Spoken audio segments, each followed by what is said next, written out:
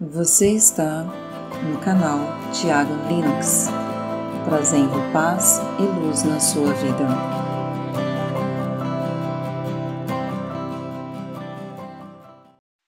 Tá entendendo? Tipo, é, você tem um, um, uma, um, um, amigo, né? Um sócio, né? E aí, é, é, ali já tive até refletindo sobre isso, né? Você tem um sócio e tal, que aparentemente te, traiu, você vai decidir através dos seus, dos seus, pensamentos, e essa é a temática da live aqui de hoje, se aquilo vai te fazer mal ou não. Porque você que escolhe, você que dá legalidade de qual situação, de qual pessoa vai tirar da sua paz interior. E você vai ver que nada deveria tocar, nada deveria alterar a sua paz. O seu foco tem que ser sempre no Criador, no Salvador, em Deus que te mantém. Ele falou assim: você que tem, vocês que estão cansados e amargurados, vocês me pro, vão procurar e eu vos aliviarei. Bem-aventurado aquele que tem sede de justiça, porque serão saciados. Então, você, na verdade, quando é, é, é surgiu uma determinada situação, eu estava até vendo nas mensagens aqui, teve uma mensagem, ah, é, é, é, porque eu tenho muito problema com a minha filha, porque isso, isso. Quando você tem uma determinada situação, seja ela qual for, você, na verdade, quando você bota Deus como seu baluarte, você coloca Deus, aquele que te abraça, aquele que é o teu protetor, você na verdade não precisa fazer absolutamente nada. Você só precisa seguir o seu caminho. Você não precisa fazer justiça a si mesmo. Automaticamente, quando você só segue o seu caminho na confiança em Deus e perdoando a todo mundo, o bumerangue já volta pelaquela pessoa que te, te, te agrediu. E aquela pessoa que está que está colhendo, porque é colheita, né? Aquele mal que está vindo sobre a pessoa, sobre a cabeça da pessoa, é também benéfico, porque vai trazer o crescimento, o amadurecimento. Que nada melhor de levar a gente para frente, para o nosso crescimento, do que um problema. Quando surge um problema na nossa vida, paira sobre a nossa cabeça, é uma oportunidade imensa de crescimento. E olha só que bacana, pessoal. Quando você está arrependido de um ato que você fez, esse arrependimento não vem a não ser pelo próprio toque do Criador sobre você. Olha só, pessoal, Deus é amor. O arrependimento de alguma atitude que você fez só vem através de Deus. Então eu te digo, você que já está arrependido, você já está perdoado. Você é o próprio Deus que tocou, porque quem não tem Deus no coração, quem não tem nenhum tipo de amor, né, não tem nenhum tipo de sentimento de amor em si mesmo, não pode ser tocado, não pode ter arrependimento, não se coaduna, não bate. Deus é amor o tempo todo. Então só vem o arrependimento, só vem é, é, é, quando o próprio Deus tocou em você. E aí, como Jesus fala que eu falo, ah, mas eu não tenho que pagar, ah, mas eu não tenho que eu não tenho que sofrer porque eu fiz. Não, Jesus falou, meu fardo é leve, venha todos, venham todos a mim, meu fardo é leve. Eu te digo, você já está perdoado. O arrependimento já é um sintoma legal de você estar perdoado. Agora, como a gente viu lá no, no, no, no livro, né? É, é, quando, por, por, exemplo, Pedro chegou e pediu perdão para Jesus, Jesus me perdoou porque tinha uma contenda ali com, com Mateus, o coletor de impostos, né? Quando ele chegou, chegou até Jesus e pediu perdão, né, que ele era só um, um pobre pescador e tal. Quando ele começou a pedir perdão, Jesus falou assim, ó, vai ter com o teu irmão primeiro. Né? Então isso sim, é, é, é, não é você ser amigo da pessoa, não é você tomar um picolé junto com a pessoa, né? É, é você perdoar no momento de, de, de, você soltar a pessoa e você viver a sua, a sua vida plena, a sua, vida, sua vida solta. Porque se você não perdoar, seja qual situação você for, você fica preso. E você vai ficar preso pelos seus próprios pensamentos. Você vai prender a sua vida. Então, quando você faz o ato de perdão, em primeiro lugar, é por você mesmo, é um ato de sabedoria. Nem que seja um ato egoísta, entre aspas, perdoar é preciso. É a energia do amor para que você cresça, para que você evolua. Tudo sempre começa e termina nos nossos pensamentos. O que está fora sempre é o, o, o, o a proporção adequada, o espelhamento daquilo que está nos nossos pensamentos. E outra coisa, pessoal, deixa eu te dizer uma coisa: uma pessoa que não consegue perdoar, ela não perdoa a si mesma. Lembra que Jesus, é, é, ela se culpa a si mesma. Lembra que Jesus, é, é Jesus é, falou, falou o seguinte: é,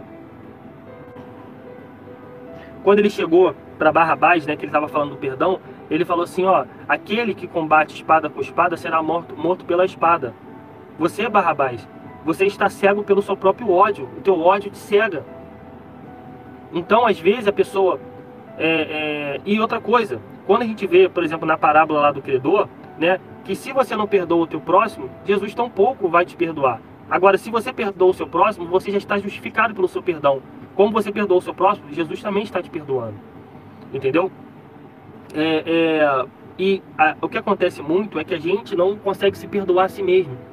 A gente só consegue perdoar aquilo que está fora quando a gente, em primeiro lugar, perdoa a si mesmo. Quanto de nós não passamos anos da nossas vidas amargurado, nos cobrando é, é, é, sobre si mesmo e cobrando várias situações, sendo que a gente poderia ter viver a nossa vida plena e felicidade já agora se a gente soltasse tudo. Em primeiro lugar, tem que é, é, praticar o perdão, o alto perdão, se perdoar a si mesmo, porque é, ninguém é obrigado a acertar o tempo todo. Essa voz aí que está no seu interior, que quando você sai, sai na rua, ah, eu, eu podia ter, ter colocado aquela blusa branca, mas eu coloquei essa preta, eu não estou legal e tal, tudo está no teu pensamento. Essa, essa voz que está interiormente aí, o tempo todo dentro da sua cabeça, traz essa, essa pessoa, traz essa voz para ser o seu amigo, para ser a sua amiga, e não o seu inimigo o tempo todo. Senão você fica numa luta interna, onde você combate a você mesmo. E você gera uma confusão, uma nuvem de pensamento, onde quanto mais você emana, mais você traz aquilo para você. E aí você faz uma retroalimentação de só coisa ruim. E você almeja sair daquela situação espelhando, projetando é, no que está fora. Sendo que a solução dos seus problemas e o início também dos problemas está sempre dentro de você. É o tempo todo assim. Por isso que Jesus falava, buscai o reino do céu e tudo vos serão acrescentado. Né? Quando a gente, por exemplo, agora falando propriamente disso da, da, da, da mecânica quântica, é, quando a gente vê, por exemplo, o experimento da dupla fenda, né, vocês sabem que é, a menor parte da matéria é o elétron. Tá? E quando foi feito o experimento da dupla fenda, onde se pegou-se é, é, duas fendas e jogou o elétron, né, é, é, jogou o elétron nas fendas, propriamente dito, quando tinha uma fenda só, né, o elétron se comportava como matéria, não que é matéria. Por exemplo, essa caneta aqui eu estou segurando, isso é matéria. Isso aqui é matéria, né? Isso aqui tudo é matéria. Então, legal, você pega uma bolinha de ping-pong, você joga numa fenda e vai passar pelaquela fenda, se você acertar a fenda, né? Lógico, né? O elétron também é uma bolinha de ping-pong, é a mesma coisa, só estão em tamanhos e escalas diferentes, são a mesma coisa, a gente está falando de matéria. Agora, estranhamente falando, e aí vem o seu comportamento dual, né? E isso é tão realidade porque hoje na minha faculdade de Química eu já vejo Química Quântica, isso é uma realidade. Quer dizer, para chegar numa faculdade, numa universidade, é porque o assunto já está consolidado, né?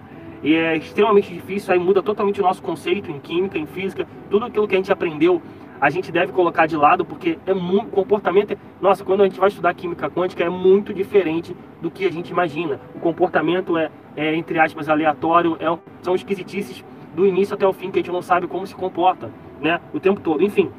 E aí, quando se pegou esse elétron, voltando para o experimento, e jogou ele é, é, é, em duas fendas, o elétron automaticamente se comportou como onda. E ele passou pelas duas fendas ao mesmo tempo. Como uma unidade de matéria pode, imagine essa caneta se transformando em um sinal de Wi-Fi, que é uma onda. Fica meio difícil de se imaginar, mas exatamente assim que os cientistas observaram no experimento da dupla fenda, ou da fenda dupla, né, do Max Planck. É exatamente isso que aconteceu. Teoricamente, eu jogaria essa caneta aqui e essa caneta passaria por dentro né, dessa parede, jogaria e pararia lá do outro lado. Né? É isso que a gente pôde observar no experimento da dupla fenda. Então, a gente tem é, o elétron se comportando das duas formas, como onda e como matéria ao mesmo tempo. E tudo que a gente observa, exatamente tudo, celular, caneta, roupa, nós, tudo somos feitos de elétron. Mas fica complicado você não saber o que é elétron, né? Porque se você não sabe o que é elétron, você não sabe como funciona a tua realidade. Né? Você sabendo que o elétron ele pode se comportar como onda e como matéria, faz toda uma mudança na sua vida. E esse experimento ainda continua, trazendo é, é, mais um entendimento, né? que é o que Jesus, na minha visão ali, na passagem de Jesus, é a mecânica quântica do início até o fim. Né? Eu quando leio ali as escrituras, quando eu leio ali a passagem de Jesus, Mateus, eu vejo o tempo todo ali é, é, é, mecânica quântica no início até o fim. Eu falei, nossa, isso aqui pode ser explicado perfeitamente sobre a mecânica quântica, né? Seja lá o nome que for, né? Eu penso que todos esses nomes, mecânica quântica, isso tudo são ferramentas de entendimento, não importa o nome que se dê, isso é pouco importante. Existe o fenômeno em si, existe uma regra em si, isso é o mais importante. Não é ficar categorizando nada, não é para ficar é, é, é, dando nome de nada. Como às vezes me perguntam, ah, qual religião que tem? Ah, mas isso aí é o evangelho, mas isso aí não sei o que. Pouco importa, que se dane o nome que se dá. O que, o que interessa, na verdade, é o resultado obtido, é a sensação, é aquilo que você sente, é o contato com o todo, é aquilo que você experiencia. Esses nomes servem apenas para ferramentas de entendimento